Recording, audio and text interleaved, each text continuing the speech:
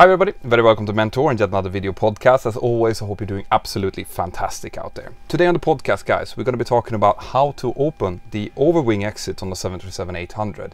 Why you should not do that unless it is an emergency. What kind of passengers are allowed to sit at the overwing exits and why. So stay tuned.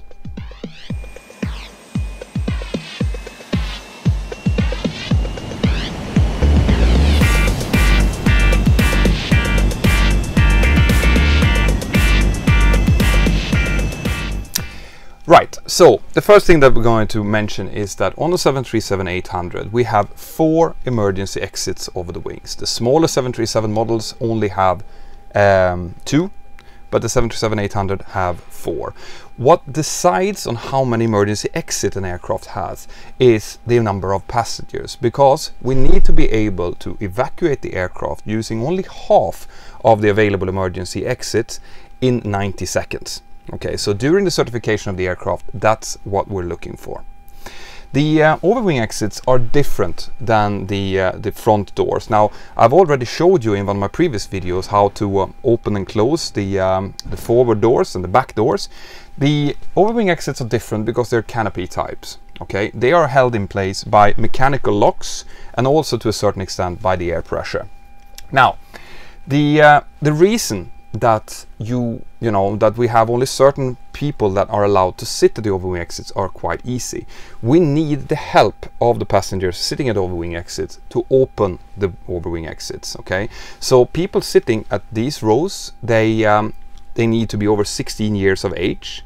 They need to uh, be you know uh, in good physical condition, which means that they cannot have some kind of impairment. So if you are, for example, a wheelchair passenger, you are not allowed to sit over the overwing exits. And you also have to be able to only use the standard width seatbelt. Okay, so if you need a seatbelt extension for whatever reason, that is not allowed either, for the simple reason that extra seatbelts might tangle in to the feet of the people needing to evacuate. Okay? Now, the, I mentioned that these were, uh, were kept uh, locked by mechanical locks, and these mechanical locks are automatic. They will um, they will engage when a number of different criteria is fulfilled. Uh, three of the four main doors needs to be closed. The um, aircraft should be um, have DC power available and it needs to be feeling that it is in the air or that the thrust levels are advanced for takeoff right?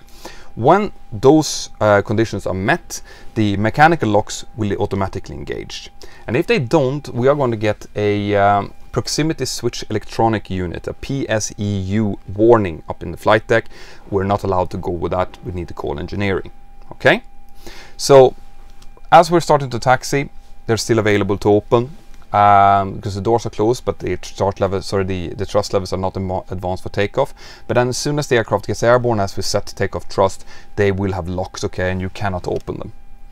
But if any of those criteria are not satisfied, well in that case you can open them and that is to be able for us to evacuate the aircraft as quickly as possible if something would happen as we're taxiing for example. Let's say that there would be a fire indicated then me I might call for an evacuation quickly and the people sitting at the overwing exit then have to be able to open it quickly.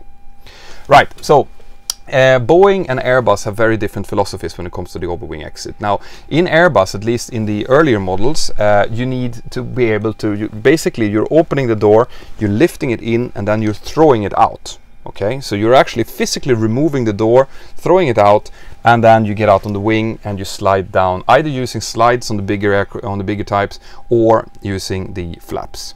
Now, Boeing is different. This is a canopy type. It can be opened both from the inside using these handles up here and also from the outside okay but if you're opening it from the outside if you're a firefighter for example you have to be very very careful and I'll show you why in a second right these covers up here they have to be installed during passenger flights so if we're traveling with passengers these covers these plastic covers have to be installed right uh, and that is to for to avoid people kind of accidentally moving these while on the ground but And I also want to take this opportunity, guys, to explain why it's a really, really bad idea to open these doors. I know there was a video that went viral just a few weeks back with a passenger who, the, who was uh, in a delay on the ground and decided just to open it up to go out and get some air.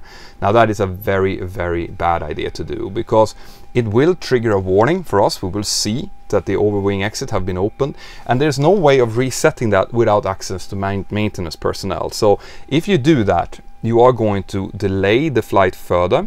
I mean, if you do it before takeoff, we will not be able to take off. And in most likelihood, you are going to be liable for the financial effect of that delay because we are not, in any case, we're not allowed to open this unless it is in an emergency. Okay? So it's not a good idea. Right, so how do we open it then? Right, so there's a description here at the top uh, if you are ever in a situation where you are the one who needs to open this, the cabin crew will have given you a briefing. Because you're an able-bodied person, they would have given you a briefing before departure of, you know, where the instructions are, what you're expected to do in case of a evacuation. So basically, it's very, very simple, okay? You reach in with your hand below this, and then you just pull it down. And that happens, all right? the plastic cover falls out, the door slams open like this, and you're able to just walk out. Okay? There are some things here that people uh, are not always aware about. Up here in the corner, there's a lanyard. You can see it partially up here. That lanyard, uh, if you're the first person who is going to evacuate, you are supposed to take this lanyard with you. Just make sure that it doesn't fall out now. Supposed to take this lanyard with you and attach it. Maybe you've seen that little yellow um, holder out on the wing. If you're sitting at the overwing exits and you're watching the wings, you will see that there is a little yellow tag out on the wing.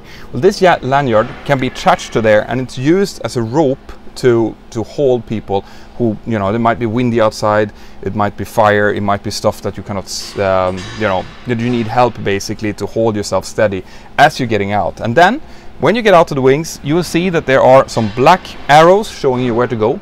So basically you're just turning left, following these arrows, and then you slide using the flaps, so should be set to 40 by that point, down onto the ground, run away from the aircraft.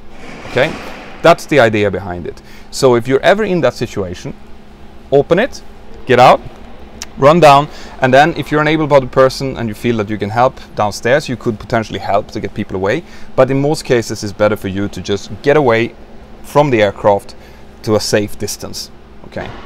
Now, if you're interested in seeing how we are actually doing the evacuation, how we're commanding and, and setting up the flight deck to do the, the evacuation correctly, I have a um, playlist, a collection inside of the Mentour Aviation app. So if you get the Mentour Aviation app and you get the rejected takeoff and emergency evacuation collection, you'll be able to see exactly what we do in the flight deck to make sure that before the aircraft is starting to be evacuated, the engines are shut off because obviously if the engines are still running, there's going to be a you know a jet blast behind just where the passengers coming out. So it's really important that we follow some very very strict protocol for how to evacuate the aircraft before we give the evacuation command. Guys, I hope you like that. Uh, if you have any questions when it comes to how to use this door or evacuation procedures as such, just send them in below. Have an absolutely fantastic day. Make sure you have subscribed to the channel. I'm going to make more and more of these type of videos where you get to see actual aircraft parts. Take care of yourself and bye bye.